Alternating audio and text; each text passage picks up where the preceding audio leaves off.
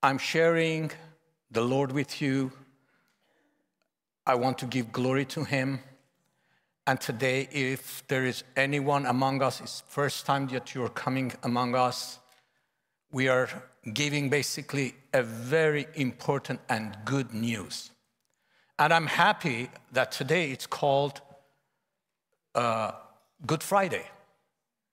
You know, uh, for, for, for, the first time when I came uh, to Canada, I heard Good Friday because back in Spain, they call it Holy Friday. Back in Iran, Armenians, they were calling uh, Dark Friday, Chavar Urpat, or Avak Urpat, the main or chief Friday. Um, but here, first time I heard Good Friday. And you know what? I'll stay with this one, the last one, Good Friday, because what I'm going to share with you, we'll see all it's about good. There's nothing bad in it. All the, the goodness of God we see on that day, such a day. I don't know exactly when was that, whether it was in April, March, I don't know. But it was a Friday. The Bible says it was a Friday what happened. We have gathered here tonight without a doubt to remember the sacrifice of our Lord Jesus Christ when he died on the cross. To remember that the Son of God was crucified on the cross and lay his life for every one of us. When I say every one of us, I mean every one of us. And I want to say that even if you were the only person on this earth, Jesus had given his life for you. My friend, my brother, Jesus is looking at your heart and at you, and he gave his life for humanity. But I think it is important for us, not by any means to diminish the physical aspect of the crucifixion, but sometimes it can happen to us that we spend all our focus only on that aspect, the physical crucifixion and torture of Christ on the cross. Uh, certainly, it is an indignity that the Son of God to be treated in such a shameful way on the cross. But we make a mistake if we place the value or the emphasis exclusively on that aspect the physical suffering of Christ. Because although that was horrendous in every way, but the historian says that there was more than 10,000 Jews also were crucified in the time of Roman Empire in the land of Judea and Israel. So Jesus was not the only one crucified. However, the crucifixion of Christ was not that because he did something wrong. All others were criminals. But Jesus was with no sin, yet he died for all of us. So being crucified and itself is not all that Jesus did, even though it was horrible in every way. So, what I want to suggest you is that while the physical real realities are horrific, the spiritual realities are astounding and they are impressive even more. To consider what Jesus did on the cross for us is literally makes Good Friday good. And I want to speak about this principle. And when we, book, when we read the book of Romans, we see in general, when the Bible says basically, when he died, all have died. All humanity died. Those who believe, they, they died in Christ. In Romans, for example, 6 2, it says, by no means we are those who have died to sin. How can we live in it any longer? He said, By no means. We are those who have died to sin. How can we live, live, it, in any, live it any longer? And in 6 6 it says, For we know that our old self was crucified with him.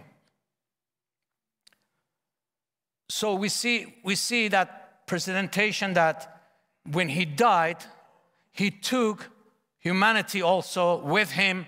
The old man was died with Christ. You know, the Watchman Nee has a nice, Watchman is one of the followers of Jesus in this last century, a man of God who was a Chinese man who went to prison um, for his faith in the uh, China communist. He says that basically that giving an analogy that if you consider a book and you put a paper in that book, whatever to that book happens, it happens to that paper. If you cut the book half, the paper is cut in half. If you burn that uh, book, that paper is burned. If you wet it, that paper is wet. That's our position in Christ. He died, we died with him. He rose again, we rose again. He, he was buried, we, was, we were buried with him. And he rose, and we were risen again with him. But beyond that, that what, that's what I want to uh, share with you in the book of uh, uh epistle of Apostle Paul to Colossians, chapter 2 from verse 13 to 15, there are three things that about Jesus' death, and uh, uh, uh, uh, specifically about three things that died with Christ, with Christ on the cross. And I want to speak about these uh, three points. But before that, let's read the portion that says in Colossians 2, chapter 2, from verse 13 to 15. You were dead because of your sins and because your sinful nature was not yet cut away. Then God made you alive with Christ, for he forgave all our sins. He canceled the record of the charges against us and took it away by nailing it to the cross. In this way, he disarmed the spiritual rulers and authorities, he shamed them publicly by his victory over them on the cross. So I want to speak about three things that we see in this, in this portion of the Word of God happened on the cross. Number one, at the cross, your death died with Jesus. Your death died with Jesus. What do I mean by that? You were dead because of your sins and because of your uh, because your sinful nature was not yet cut away. Then God made you alive with Christ. What kind of death are we talking about? We were dead spiritually. In order to understand this, basically in the book of Romans, it speaks about three types of death. Number one, physical death which is separation from the living. When somebody is dead, it's a separation from the living. There is no longer interacting with the living. That's physical death. Number two, spiritual death, which is separation from the living, from the living God. That's the sp spiritual death, separation from the living God. Eternal death, which is separation from the living and from God forever. That's the eternal um, death. That we see in the Romans speaks about three this type of this death. So when we read here, you were dead because of your sins, man is dead if you don't have Christ in your heart, you are dead. Spiritually, you are dead. Even though physically you are still breathing, but spiritually you, you are dead. There is no connection between you and God. There is no spiritual communication and fellowship with you and God. So when but when Jesus died on the cross, it says he took that death, that separation on the cross and nailed it to the cross. So when we talk here, the verse, you were dead because of your sins, is talking about spiritual death separated from God. So when Jesus died on the cross, our death, which is a curse, died with him. On the cross, Jesus destroyed that spiritual death for all those who would believe in him. He destroyed that death. He destroyed the separation from God. In 2 Timothy chapter 1 verse 10 it says, "But it has now been revealed through the appearing of our savior Christ Jesus, who has destroyed death and has brought life and immorality to light, uh, immortality, sorry, immortality to light through the gospel. So he destroyed death on the cross. He's destroyed the spiritual death, the spiritual death. He destroyed the separation from God and brought life and union with God again. No longer separated from God, but alive to God. Number two, I said three points. Point two, at the cross, your debt died with Jesus. Your debt died with Jesus. We read in Colossians 2 13 to 14. I'm reading from English Standard Version, the Bible, from uh, verse 13, last part. Having forgiven us all our trespasses by canceling the record of debt. The record of debt I like the word all. All transgresses, all sins, all trespasses. Not some, not part, but all trespasses. He has forgiven. He, by canceling, how he did that? By canceling the record of debt. You know what? I bet you from the time that we are born, we have a long list of debt that we have to God. Long list. Maybe book. He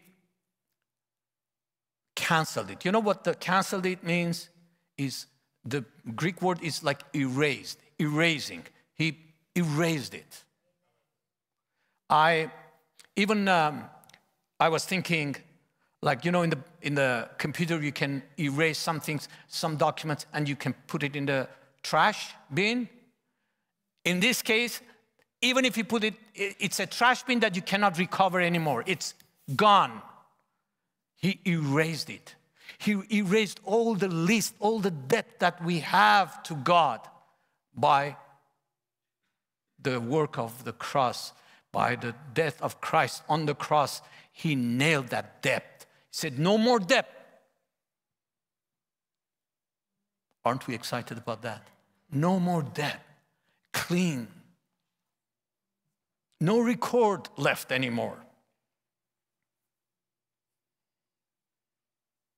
You know, I remember the, in the book of Judgment, uh, I mean, in the book of Revelation, then in the um, uh, Great White Throne Judgment, and they came, the books were opened, and the work of everyone was written there, what they have done.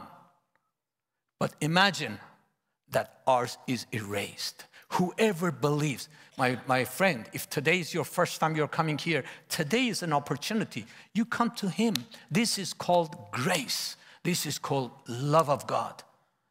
He erased, He paid the penalty when He was on the cross. This, what I'm sharing is today, is just one angle of the work of the cross, what Jesus did on the cross. But I decided to speak about this angle because many times we forget. Only we, we, we, we look at it as the suffering of the Christ, which is truly, and when one who one died innocent for all of us, he, he says, nobody gives his life for a friend unless he uh, uh, uh, loves, loves him, that friend. That's the love manifest when somebody gives his life for somebody. That's the meaning of love. So he loved us. But from this angle, when I see, not only he loved us, he secured us, he protected us, he put, erased all our debts. He took our separation from God, also that death, spiritual death to death, ended it. So, that book also was erased. And the number three, at the cross, your enemy's demonic power died with Jesus. That's another thing that happened when we read on the that second first Colossians chapter 2, what we read in the beginning. What it says in 2:15. I'm re reading for ESV version, English Standard Version. It says, In this way, he disarmed the spiritual rulers and authorities. He shamed them publicly by his victory over them on the cross. And in there's another translation version, it's a Message translation, it says, He stripped all the spiritual tyrants in the universe of their, of their sham authority at the cross and marched them naked through the streets. Interesting. What Paul is picturing here is a, is a Roman triumph. He uses that illustration, Paul uses this illustration many times in the New Testament, using the Romans Empire and their triumphs. And um, this happens frequently in the New Testament. What, what a Roman triumph would be is when a general has taken a Roman legion into an area, a territory where it was hostile to Romans, to Rome, and has conquered it thoroughly. That's what is called a triumph. It's, you cannot just win a battle. That's not a triumph. Unless you win the whole the war, it's not a triumph.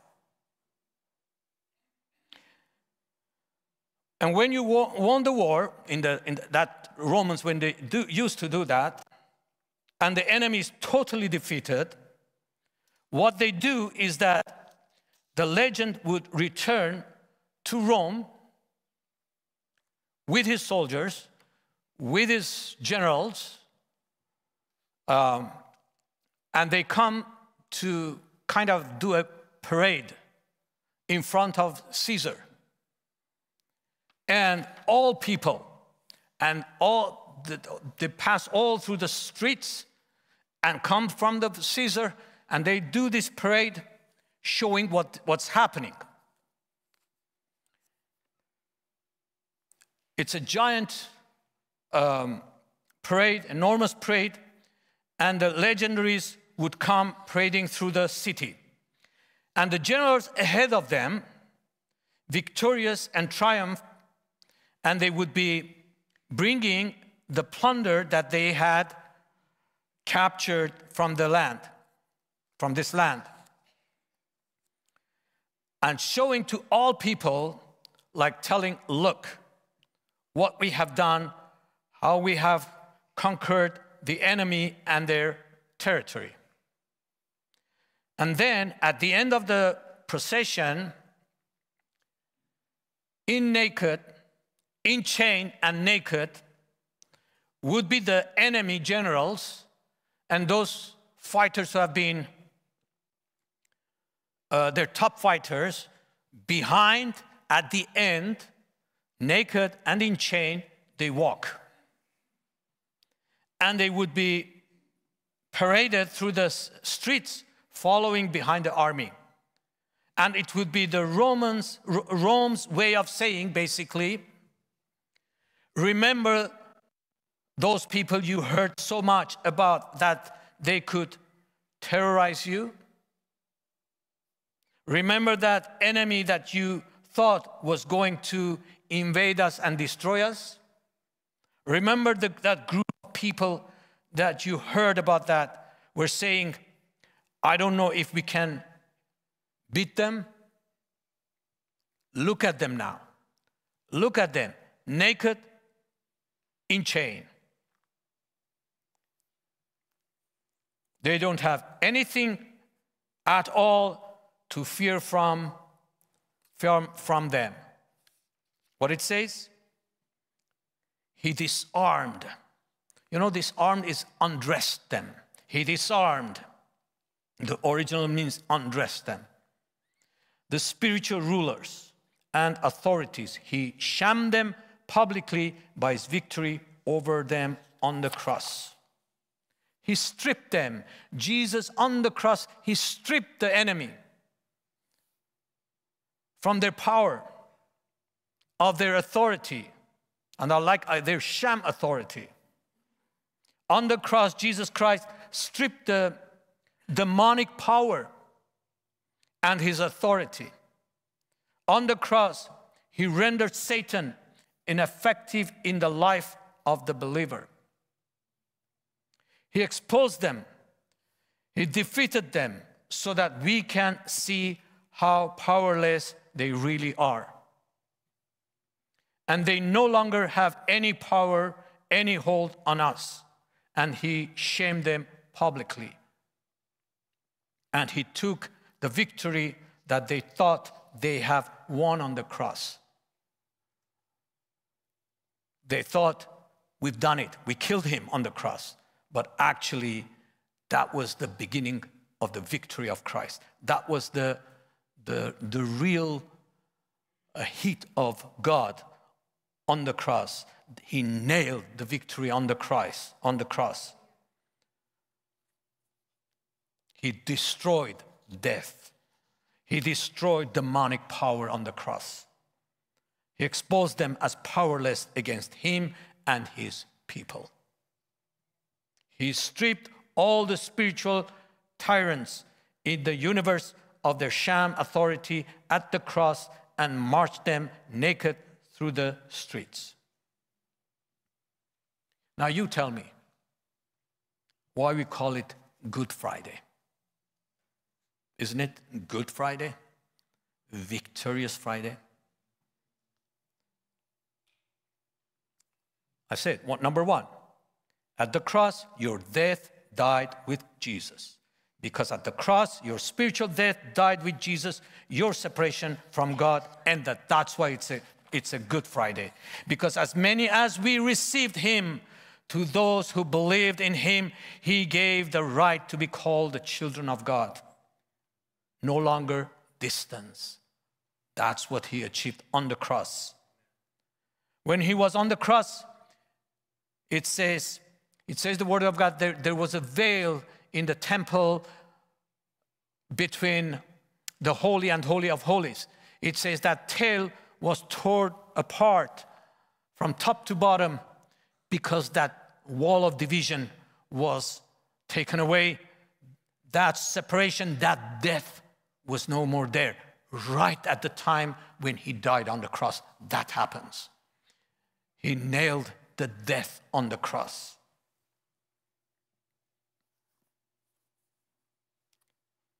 Second, I said, at the cross, your debt died with Jesus. The record that long receipt of the life of sin was nailed to the cross. And the record was erased by the blood of Jesus. That's, that's why it says that, therefore, now there is no condemnation for those who are in Christ Jesus because it's all been erased, it's all been expunged, it's all gone. There is no record, record of your sin. And finally, at the cross, your enemies, demonic power, died with Jesus. He was stripped, he was, the enemy was stripped, was disarmed, and all of this happened not because of our merit, but goes back to his accomplishment on the cross. The manifestation of his ultimate love to us on the cross. That's why it is Good Friday. Now, before we come to the table of communion, um, I want to read this portion that we usually read. Meanwhile, the, the, the, ushers can bring the table forward. But I want to, it was, I think, in our last uh, communion, I shared this. And I want to read, uh, let's remember. For I received in 1 Corinthians chapter 11 from verse 23 to 26, for I received from the Lord what I also passed on to you. The Lord Jesus, on the night he was betrayed, took bread, and when he had given thanks, he broke it and said, This is my body which is for you. Do this in remembrance of me. And I asked, what does it mean in remembrance of me? It says, in the same way, after supper, he took the cup, saying, This cup is the new covenant in my blood. Do this whenever you drink. Drink it in remembrance of me again. For whenever you eat this bread and drink this cup, you proclaim the Lord's death. In remembrance of me means in remembrance of my death. And remembering of his death means remembering of his love. Remembering of his death means remembering what he has accomplished on the cross for humanity. So, with this act, we come to remember what he has done and that we belong, we belong to the same body. We are now, just like that paper in that book, we are in Christ and Christ in us. By the way, I was so much blessed with Leo, what Leo shared on that uh, last uh, Sunday about the closeness of God, right? And one of the verses that they remi- remembered, I remembered when he was I was listening was this I in you, you in me. What a closeness. There's no such a more closeness than this. I in you, you in me. This is the principle of that book. We are in Christ. He has accomplished on the cross. That's why he said, It is finished. He did whatever was needed on the cross. And today is uh, the Good Friday we are singing, we are enjoying, rejoicing, giving Him praise. And truly, this is the best opportunity for us. If there is anyone among us that has not yet committed himself to Jesus, doesn't matter from what background you are, you're Christian, Muslim background, doesn't matter. There is a need for a new birth. You need to invite Christ in your heart. All what I said will become reality in your life if you accept him in you in your heart in, and invite him jesus and you if you believe in him and that starts with inviting him confessing and coming uh, to him and say lord i want you to enter in my heart